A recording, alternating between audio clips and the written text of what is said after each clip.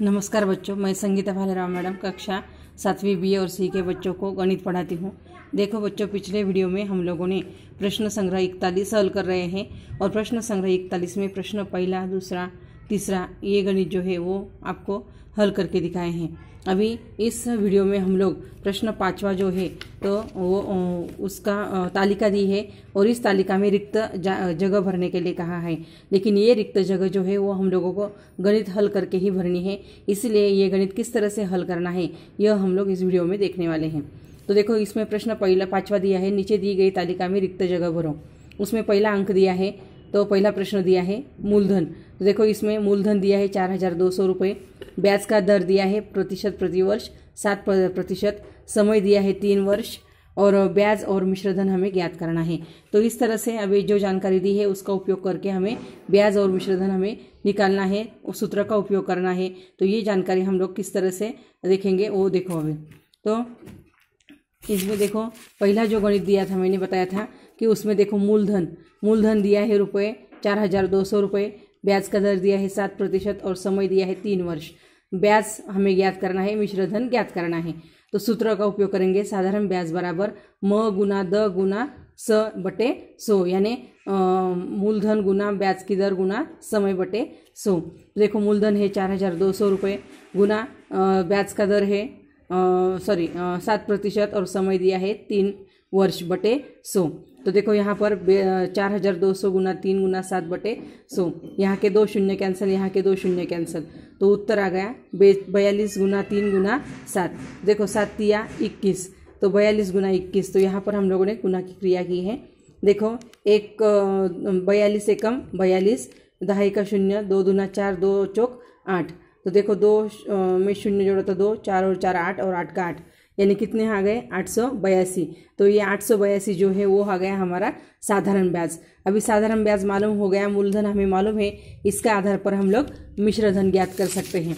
तो देखो मिश्रधन का सूत्र है, मिश्रधन बराबर मूलधन जोड़ ब्याज। तो देखो मूलधन दिया है चार हज़ार दो सौ रुपये, जोड़ ब्याज दिया है आठ सौ बयासी रुपये। तो देखो दोनों का जोड़ करो।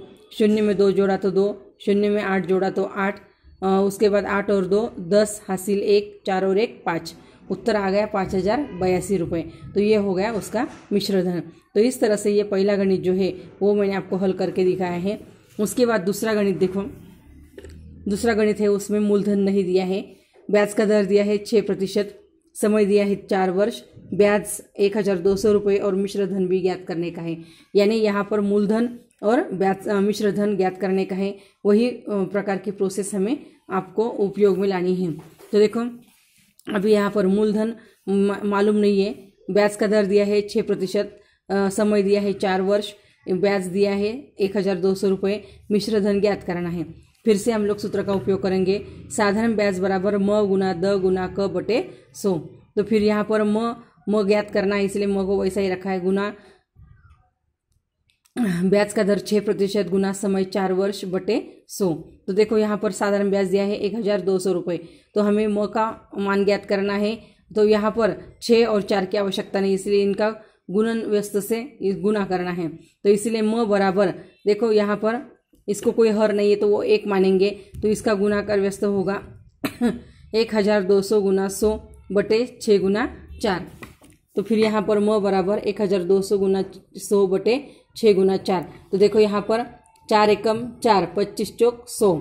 उसके बाद छः एकम छः छः दूना बारह और ये दो शून्य रख दें। यानी दो सौ गुना पच्चीस। तो देखो पच्चीस दूना पचास और ये दोनों शून्य रख दिए तो उत्तर आ गया पाँच हज़ार। तो म का मान आ गया पाँच हज़ार। म यानी मूलधन। मूलधन आ गया पाँच हज़ार। अभी हमें मिश्रधन ज्ञात करना है। तो मिश्र धन बराबर मूलधन जोड़ ब्याज। तो इसलिए मूलधन था पाँच हज़ार, जो अभी आ गया है, और उसका ब्याज था एक हज़ार दो सौ रुपये तो फिर उत्तर आ गया शून्य और शून्य जोड़ा तो शून्य शून्य और शून्य जोड़ा तो शून्य शून्य और दो दो, पाँच और एक, छः। उत्तर आ गया छः हज़ार दो सौ रुपये तो ये हो गया मिश्रधन। तो इस तरह से हम लोगों ने यहाँ पर ये दो गणित जो है वो मैंने आपको इस वीडियो में करके दिखाए हैं।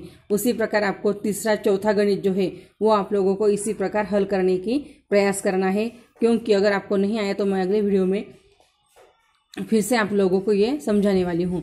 तो ये गणित जो है, वो सिर्फ़ आप लोगों को रिक्त स्थान नहीं भरने हैं, बल्कि ये जो मैंने आपको वीडियो दिखाया है, इस वीडियो के द्वारा ही आप लोगों को इस तरह से गणित हल करने का प्रयास करना है। देखो, इस तरह से वीडियो से ही आप लोगों को ये जो गणित है, ये आप लोगों को हल करने के प्रयास करना है। धन्यवाद।